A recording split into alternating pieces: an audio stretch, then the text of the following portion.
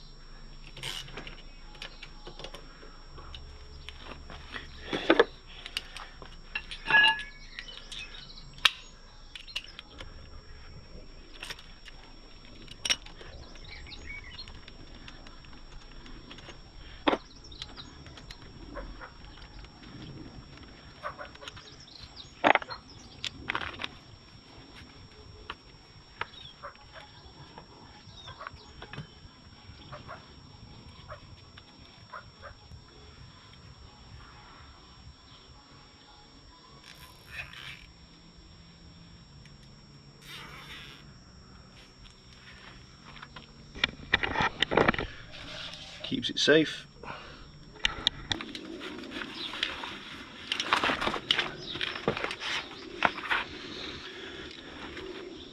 On the other side you've got the ABS sensor which is 10 mil.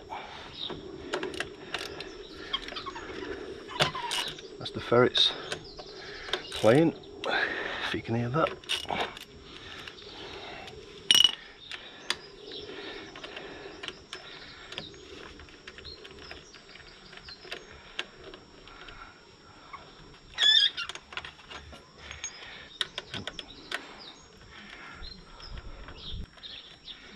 It's nearly mating season, so they, uh, they get a bit frisky. And that's the female saying, leave me alone. Reggie's in there with two girls, so he loves it. The. That's why I put copper grease on the base of that a little bit, never on the end though. Seems be much on that to be fair. Have been, could have been from the last. No, it must have been from the tyre filter. Hmm, how much is it? Oh well.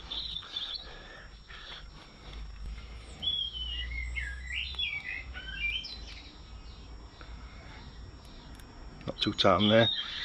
Tight usually in the frame mount and that.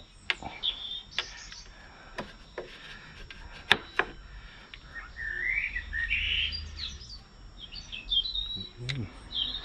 Just some new brake pads, so. MOTs in a couple of weeks. Passed MOT like on brakes.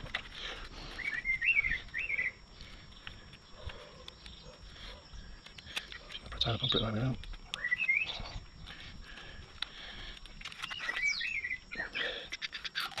It's just to take the weight off the banjo. And the, and the bit end always dropping out. It's new every single bit I've had. I know they say you can put grease in, stop it from out, but it doesn't seem to work for me. I find bits, hex bits, the most annoying part of doing bike stuff, or car stuff. It's never staying. Try bits of tape. So if you've got any idea that to get stop these bits falling out, appreciate it.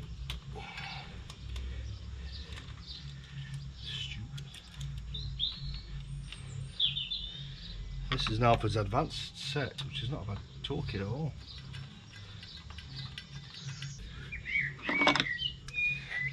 On the Z1000 2013-14 it's a 14 mil hex.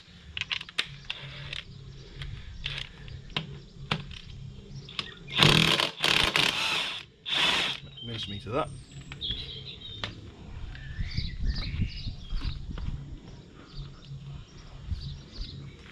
Just support the wheel, pull that straight out. Twist it on the pad thing. Be mindful of the spacers these are going to be undone. And this just go loose. Clamp there. And actually I'm wrong as usual. Oh yes you've got this is for this. And then you've just got one on the top of the fork clamp. And you've got the two at the bottom there.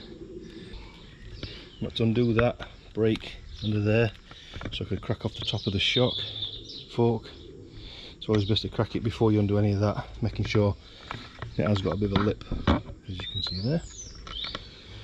So get all those undone. I'll tell you what size they are. I think, they're I think it's seven or eight mil.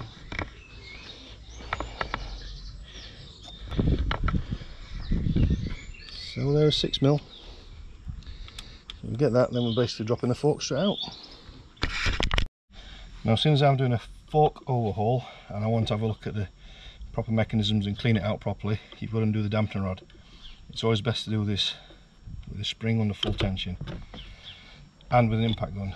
Make sure you put it in the right way first.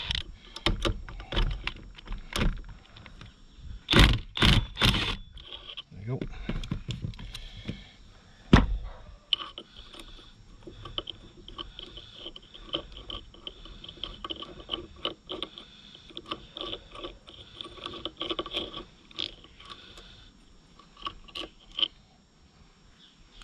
Banjo bolt in there somewhere.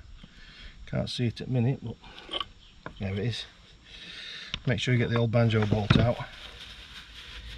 Now you can drain it from there. I'm surprised it hasn't tried to pour out actually. There's not much coming out because, I think because the top's done up.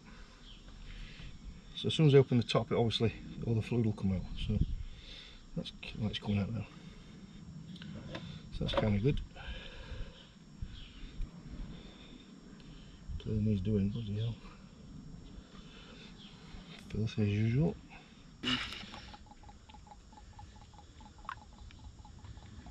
Absolutely pointless using the jug, jug now because as I went to get the GoPro it's gone into the oil pan but give me a rough guide how much oil was still in it. So then you undo the cap and you push it down and then we need to get a special tool which I have to push the spring down and get the cap off. I shall take you through that in a minute.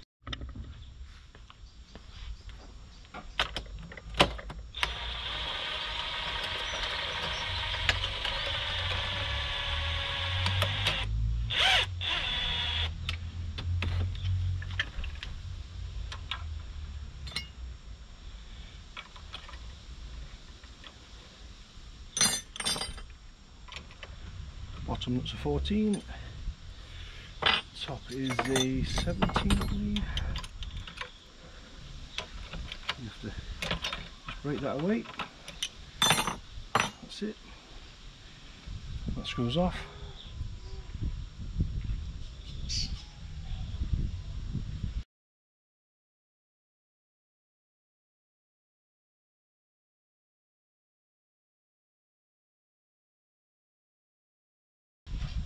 Just keep that safe because that's got your dampening rod inside the dampener.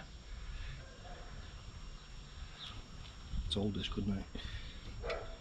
And this is all coming to bits anyway, so now we can free that off. Remembering your spacer on the top, that rubber thing on there, the washer. That just they just bolt in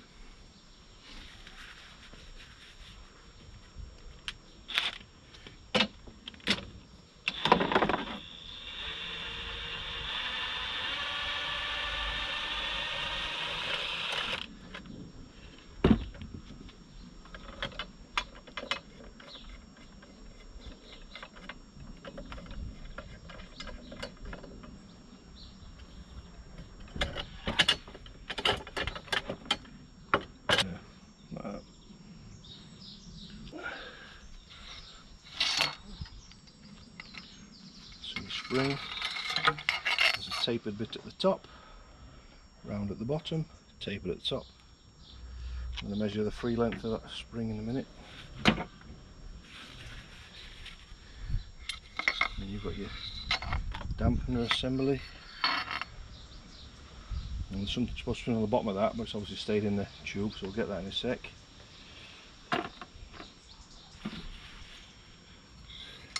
There it is, that goes on the bottom of the dampener, make sure you don't lose that.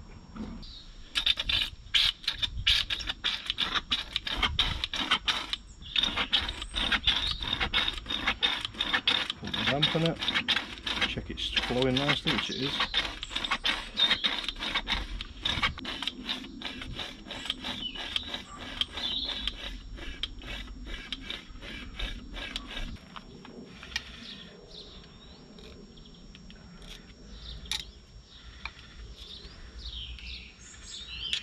There's a circlip in there. Get that out. Just really gently prise it. No real effort needed and that pings off. Now we can separate